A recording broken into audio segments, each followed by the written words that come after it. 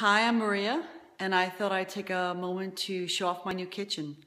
Uh, let's do a tour. So here's a big look at my new kitchen. It's not 100% done yet, but it's pretty darn close. Um, in the front here, you'll see my breakfast bar, and I bought three stools. I've assembled two of them so far.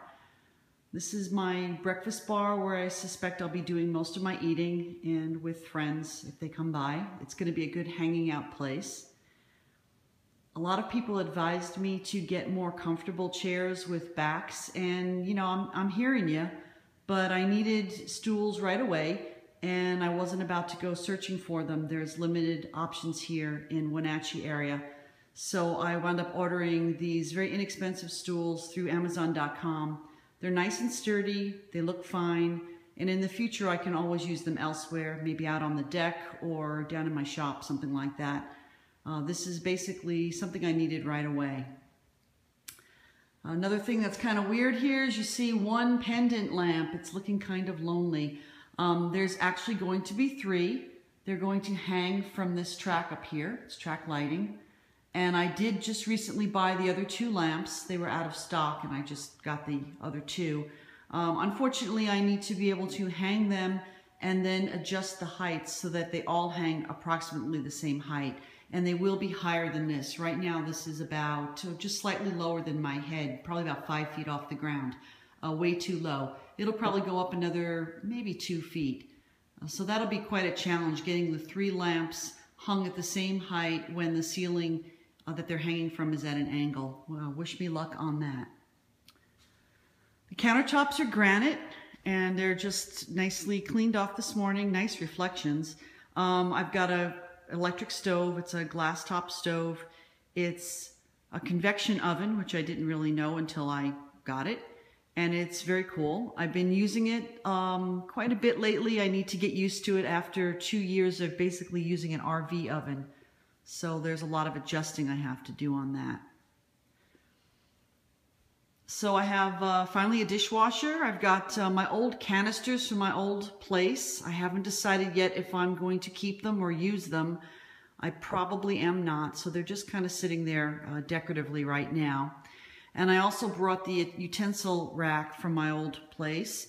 And I've hung it here, but I'm starting to think that maybe I should hang it on the other side uh, near my knife block. The knife block is also new. There's my coffee maker, which is, I've been using the same coffee maker now, uh, not the same exact one because they don't last forever, but I've probably used, been using a coffee maker like that for about um, maybe 10, 15 years. They make one cup at a time, nice fresh coffee all the time. Those are the dog biscuits I made for my dog the other day.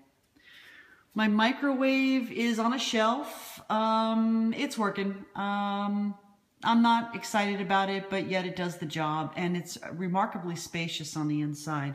I don't know if it's worth opening it for you.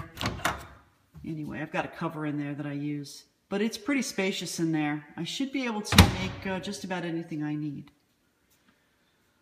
I've organized my cabinets to store all of my dishes and glasses and whatnot. I'm not going to open them all, but you can see I bought some new glasses and I've got some stemware up there. I'm going to get some new stemware. Um, most of what was back at my old house was broken, so I didn't take very much of it. Uh, there used to be a service for eight back there, but over time they all broke. Um, these are my old dishes. They fit nicely in here. And right now I've just got a bunch of serving plates up here, which I'll probably move. These shelves at the end are for decorative items, mostly my teapots. I seem to be missing one of them. I don't remember if I gave it away or not. I gave away an awful lot of stuff. And then down here, these shelves will be for my cookbooks. Um, I need a step ladder, so I'll probably be storing it here. I don't think I'm going to bother with a hook, and that's where Penny's dishes go.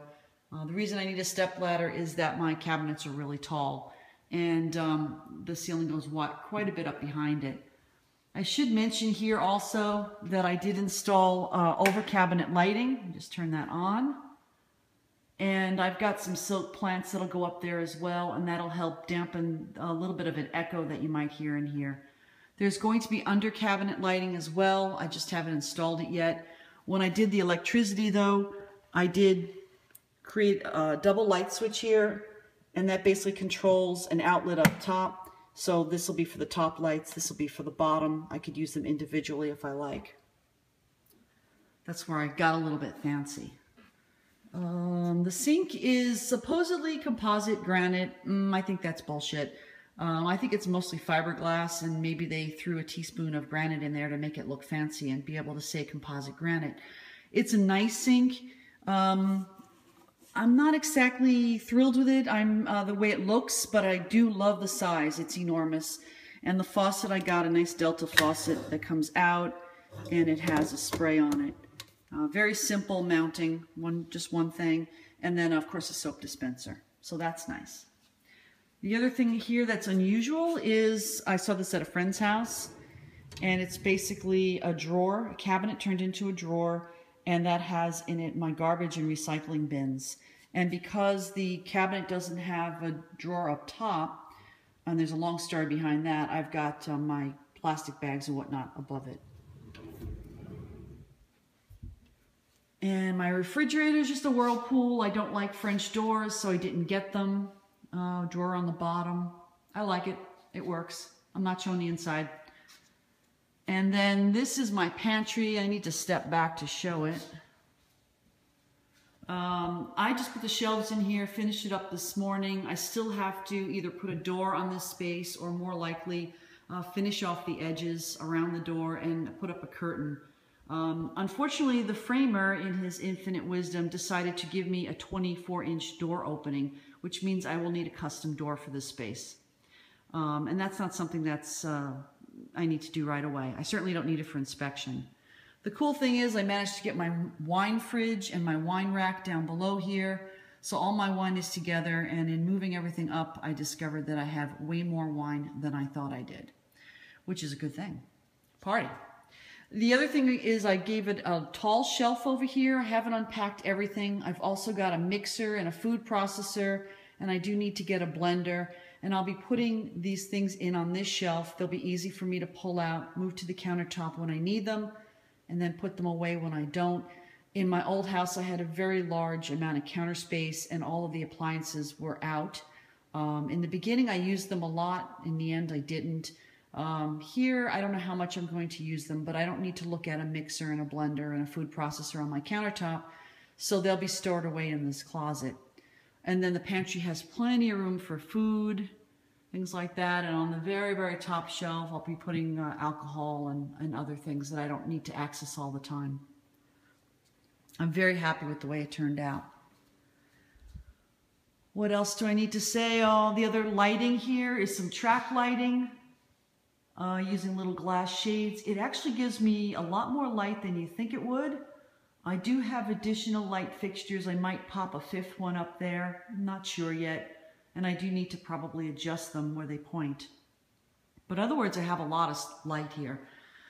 One of the things about my place, if you haven't seen any videos or pictures, is that I have a really great view. And because of that, I have a lot of windows. And that lets a lot of light in during the day.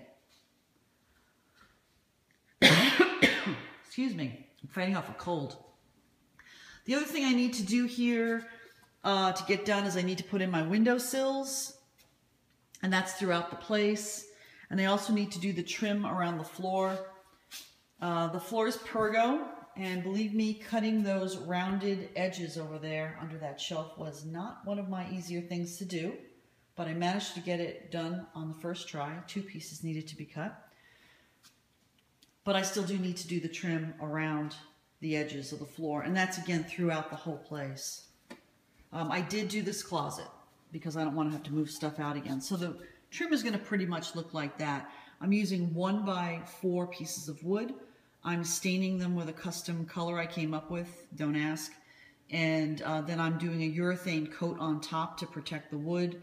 Then when it all dries up, cutting it, putting it into place with uh, a nail gun that a friend loaned me. And on these shelves, I'll be finishing off the edge of these.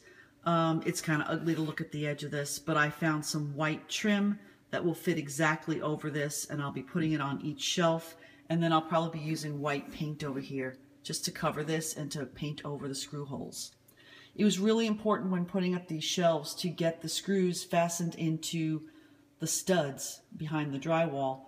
And I needed to use my stud finder to find them and then get them there. And because of that, the studs aren't regular. So for example, on this particular side, uh, you'll see that the studs are really close to the end. Whereas on this side, they're in a little bit. And that's kind of funky. And I think a little bit of white paint over those screw holes will just hide that from view. So these are little finishing up things that I need to do. Um, they won't really impact the ability to get a certificate of occupancy. So I really need to stay focused on those things right now. Um, my main goal was getting the kitchen livable, and I think I've succeeded with that. I can now basically cook anything I need in here, wash up anything I need need to. It's uh, quite a luxury after two years living in an RV almost the whole time.